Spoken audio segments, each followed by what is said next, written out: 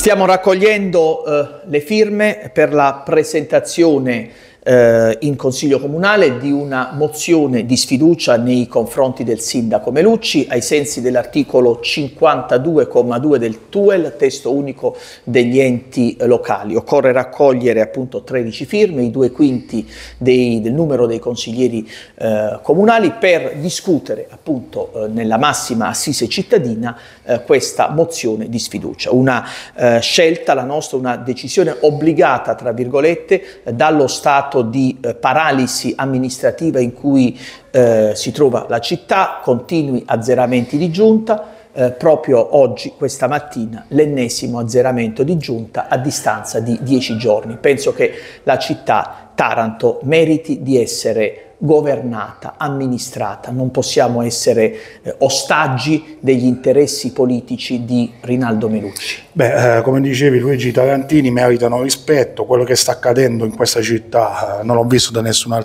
parte del mondo, continui cambiamenti di casacca, liste civiche scomparse che si sono presentate in un modo e adesso se ne ritrovano in un altro, perché purtroppo la politica a Taranto è diventata tu mi dai che io ti do noi non ci siamo mai stati, noi dobbiamo essere al servizio dei tarantini e non al contrario. Ci appelliamo a quei tarantini che non vanno più a votare, giustamente perché se questo è lo scenario è naturale che la gente ti mette sullo stesso piano e dice che noi siamo tutti uguali. Io non mi sono mai sentito uguale agli altri. Invece quello che sta accadendo con questa amministrazione, con il sindaco a capo che puntualmente azzera la giunta, la città di Taranto allo sbando è sotto gli occhi di tutti, basta farsi un giro nella città, una città ferma su belle questioni importanti, vedi i giochi del Mediterraneo, dove i tarantini sono stati presi letteralmente in giro per la questione stadio, stadio del nuovo, e per una raccolta differenziata la città è sporchissima e perché né oggi, l'abbiamo detto anche in conferenza stampa, sembra che sia saltata la fiera del mare,